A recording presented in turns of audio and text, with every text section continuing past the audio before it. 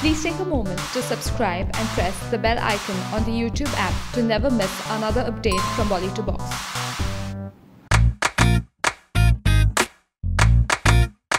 The shooting of Salman Khan's upcoming film Bharat will begin on 17th July in Mumbai, where Salman and Priyanka will be shooting a special Holi song. Salman is quite excited about this film as it has a unique storyline. And Salman will be seen in numerous avatars, right from a teenager to an aging man.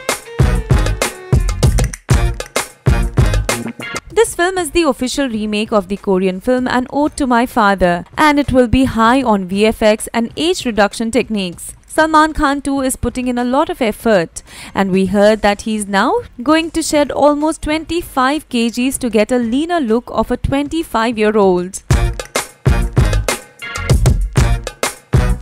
Well, after seeing him getting beefed up for Sultan and then his muscled look for Tiger Zinda Hai and boyish innocent look for Tubelight, it will indeed be quite interesting to see him in various stages of life. Henna?